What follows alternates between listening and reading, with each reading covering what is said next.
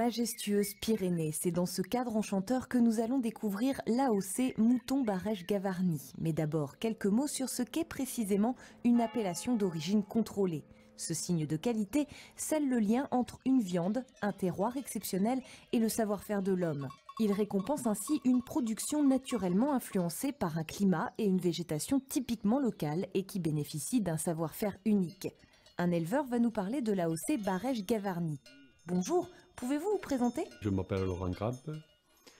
Je suis éleveur bon, de père en fils en ovins et bovins. Je travaille une exploitation de 23 hectares. Je possède dans les 165 ovins et un peu plus d'une vingtaine de bovins. Parlez-nous de l'endroit où nous nous trouvons. Actuellement, nous sommes dans les estives. Et les, les estives, euh, il y a 40 000 hectares euh, dans toute la vallée, donc sur le canton de Luz, qui comprend 17 communes. Et c'est le territoire, c'est le terroir de l'appellation la, d'origine contrôlée.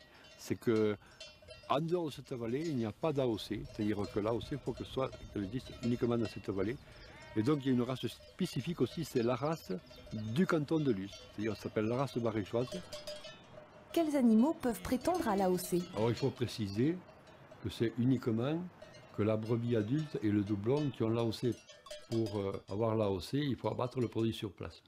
Donc un abattoir s'est construit donc, à Vielle-la-Même ici. euh. Quelle tradition d'élevage révèle cette AOC Disons que nos bêtes sont nourries euh, naturellement. On parle d'élevage ancestral, c'est qu'on nourrit nos bêtes comme avaient nourri nos parents et nos anciens parents, c'est-à-dire l'hiver avec du foin et du regain.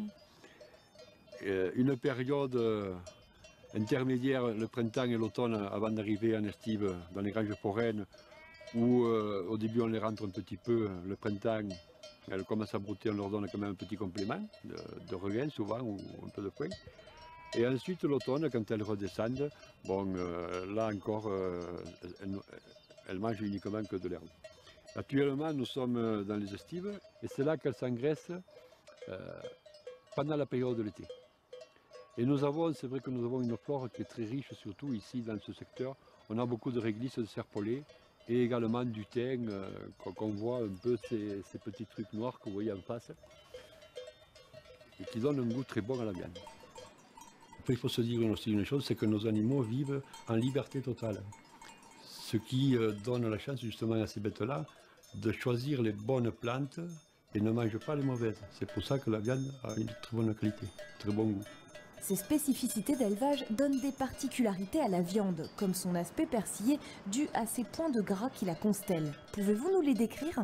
Disons que notre produit, le, bagage, le barège de Gavarnie, quand il est sur l'assiette, bon, le, le maigre est un rouge euh, déjà qui diffé- différencie d'autres races, puisque euh, le rouge est d'une couleur très vive, et le gras est très blanc, Merci de nous avoir accueillis au sein de cet écrin de verdure et de senteur.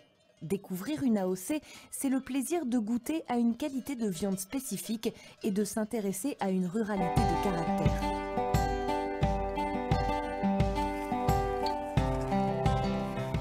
Viande exceptionnelle, le bœuf de Charolles tient ses principales qualités d'une part au bocage charolais caractéristique, à la richesse des herbages et d'autre part au mode d'élevage. Les bovins pâturent jusqu'à l'âge de 2 ans et avant abattage, les bêtes sont finies par un engraissement de 4 à 6 mois dans des parcelles d'embouche. Ces animaux, donc en AOC bœuf de Charolles, doivent être mis sur des parcelles d'embouche qui produisent un très bon herbage. Donc c'est des parcelles déjà qui sont profondes, qui ont beaucoup de terre et qui permet une herbe grasse. Donc une herbe grasse, c'est une herbe riche. Quoi. Donc ça, ça a été identifié depuis longtemps. hein. Le grand-père, l'arrière-grand-père euh, savait déjà que c'était les, par- les parcelles d'embouche, étaient les parcelles où ils mettaient les bêtes à l'engraissement destinées à aller à l'abattoir dans, dans l'année qui vient. Quant à la sélection des bêtes, elle s'effectue selon des critères particuliers. Deux jeunes vaches Alors, une, une 4 ans, une 5 ans. D'accord. Et euh, celle-là, C'est les bêtes lourdes. Hein Celle-là a fait un veau. D'accord. On regarde aussi un petit peu la, la corpulence générale du- du- de, de la, de la bête. hein. Et, et la tête en fait partie. Une petite tête courte comme ça, euh, on, on voit la finesse.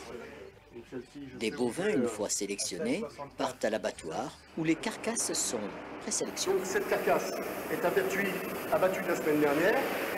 Euh, donc elle est présélectionnée euh, bœuf de Charolles. Je dis bien pré présélectionnée.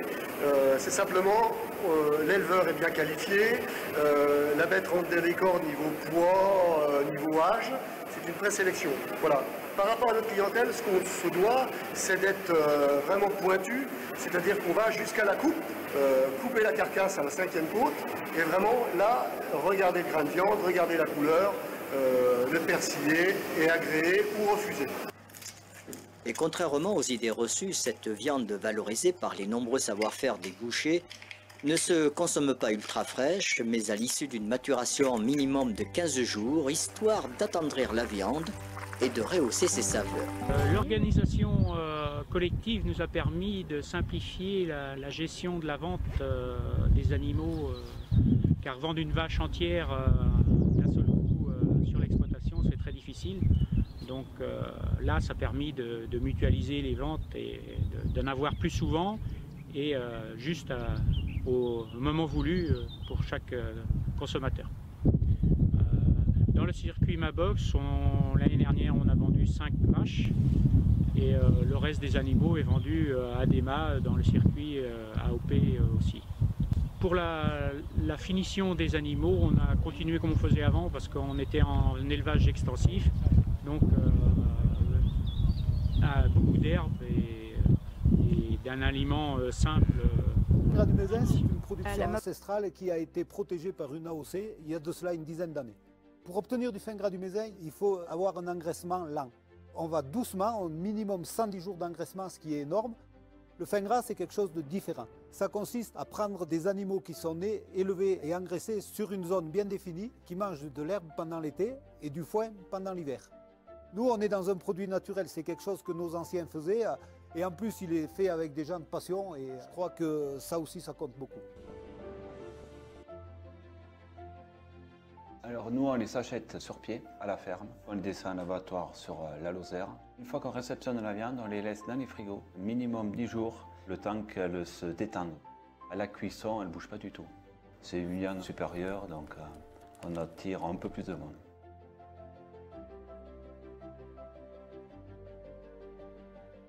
Quand la viande est tranchée, la crue, elle doit être persillée. C'est-à-dire qu'on doit retrouver plein de petits points blancs de gras. Les bandes de gras qu'il peut y avoir entre les différents muscles doivent être aussi bien réparties. On ne peut pas retrouver un gros morceau. C'est parce que l'éleveur a pris soin de bien portionner l'alimentation plusieurs fois dans la journée. Je vais vous faire une trilogie fin.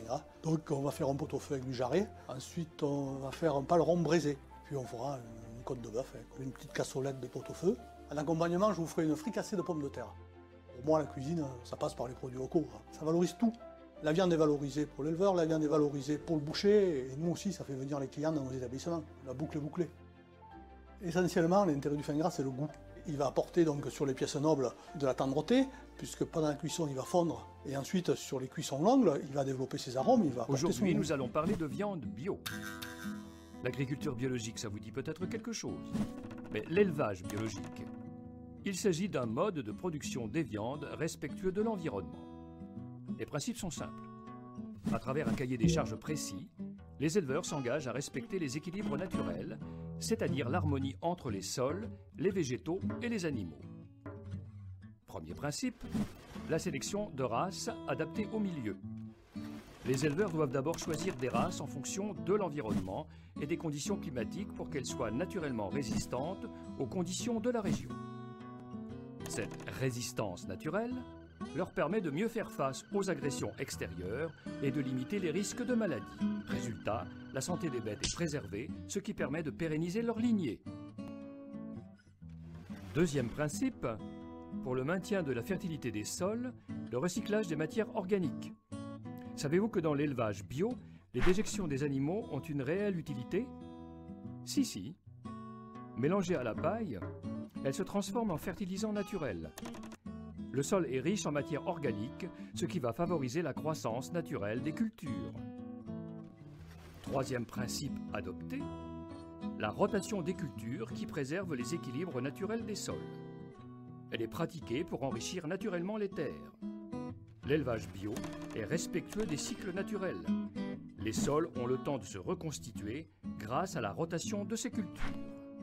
Par exemple, une année du maïs, une autre année du blé, et ainsi de suite. Cette succession de cultures, ça favorise la non-prolifération des parasites. Les haies qui entourent les champs empêchent l'érosion des sols par les eaux de ruissellement. Ainsi, les cours d'eau sont protégés, ce qui permet de préserver une bonne qualité des eaux. Quatrième principe, l'autonomie des exploitations. Les récoltes effectuées sur l'exploitation permettent de nourrir les animaux. Ils sont nourris avec une alimentation végétale, variée et équilibrée, issue exclusivement de l'agriculture biologique et, si possible, produite sur ou autour de l'exploitation. Surtout pas d'OGM et encore moins de produits chimiques de synthèse comme certains pesticides. Par exemple, en revenant à des méthodes traditionnelles telles que le travail mécanique des terres, on favorise l'élimination des mauvaises herbes sans l'intervention de produits chimiques. Une façon de résoudre ce problème en toute simplicité. Cinquième principe, des animaux bien élevés dans le respect de leur cycle de vie. Ensuite, les éleveurs doivent leur offrir un cadre de vie préservé, c'est-à-dire lorsque les conditions climatiques sont mauvaises, un lieu à l'abri, lumineux et aéré, avec suffisamment d'espace pour circuler librement, tandis qu'à la belle saison, les animaux profitent des grands espaces à l'extérieur. C'est le respect de tous ces principes qui permet d'obtenir des viandes bio. Depuis la mi-décembre, c'est le boom des naissances. D'ici la mi-janvier, 500 agneaux verront le jour dans la bergerie de Yannick Frein. Quelques heures de vie et déjà le nouveau-né est identifié. Ces bagues permettront de suivre son parcours jusque chez le boucher. C'est la certitude que l'animal est né et élevé chez moi et qu'il n'y aura pas de fraude possible pour pouvoir euh, euh, la commercialiser plus tard. Yannick Frein possède un millier de brebis. C'est la quatrième génération d'éleveurs. Ce breton de la baie, c'est lui qui a lancé il y a 25 ans la longue marche vers l'appellation. Origine contrôlée à partir de 2009, devenue origine protégée en 2012, les présalés du Mont-Saint-Michel, dotés comme il se doit d'un exigeant cahier des charges. C'est d'être un éleveur euh, en bordure de mer, qui est euh, attenant à des pâturages de, présalés. Et puis aussi, euh, bien sûr, garder ces animaux au minimum 70 jours de pâturage. Mais le plus important, c'est de suivre la, traçabilité du produit, c'est-à-dire faire les enregistrements, être suivi par un organisme de contrôle pour pouvoir profiter et promouvoir cette viande d'exception. Le présalé, c'est le domaine de l'agneau AOP depuis Cancale jusqu'à Cherbourg, des espaces immenses où pâturent les bêtes d'une cinquantaine d'élevages au total. Il est de retour sur les étals de ce boucher et certains clients ne viennent que pour ça. On connaît l'agneau de Pré-Salé parce qu'on vient assez régulièrement au crottoir et euh, on adore ça donc euh, c'est une, euh, une, habitude, on va dire comme ça. J'achète des tranches de gigot et je les fais à la poêle, comme, comme un steak, et pas, et pas trop cuit. Voilà. Et ça se mange avec quoi? Ben, Hier, j'ai fait des flageolets. Et c'est quand même un label aussi, donc euh, c'est une marque euh, qu'on apprécie. Le label, c'est cet AOP tamponné sur la viande, présalé BS. Des lettres de noblesse facturées 10 euros par kilo de plus qu'un agneau classique. L'élevage est rythmé par les marées en baie de Somme. Cet éleveur espère vendre 70 agneaux par semaine jusqu'à la fin de l'été. Pour la plupart, ils sont nés en janvier et pâturent entre le Crotoy et Saint-Valéry depuis le mois d'avril. Avec celui du Mont-Saint-Michel, l'agneau des présalés de la baie de Somme est le seul à bénéficier aussi d'une appellation d'origine contrôlée. Il est essentiellement distribué par des commerçants locaux.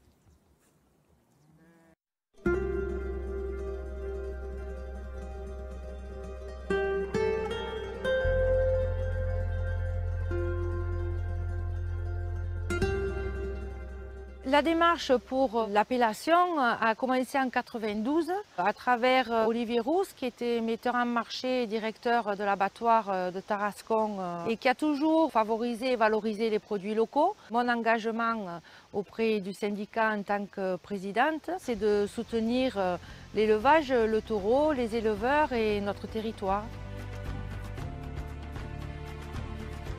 Ce qui est important pour l'appellation, c'est d'avoir un lien au territoire. Donc les, milieux pâturés sont des zones de s'ensuir, les steppes salées sont, peuvent être des zones de marée, peuvent être des prairies aussi. Euh. Donc il y a vraiment une complémentarité entre produits animal et territoire qui est vraiment euh, forte. Les taureaux camargues sont des animaux rustiques, c'est des bêtes qui vivent toute l'année dehors, été comme hiver, on ne rentre jamais nos bêtes euh, à l'intérieur. Nous travaillons uniquement à cheval car étant donné que c'est des bêtes sauvages, le cheval est le meilleur moyen de pouvoir manipuler nos bêtes et de pouvoir changer nos bêtes de pâturage, etc. etc. Le travail du syndicat euh, se résume, si vous voulez, en deux parties. Toute la partie technique qui va être le cahier des charges, travailler au contrôle. Et après, il y a l'autre volet, le, travail de communication et d'animation autour de cette viande. Évidemment que l'appellation est un élément essentiel aujourd'hui à la survie de nos élevages.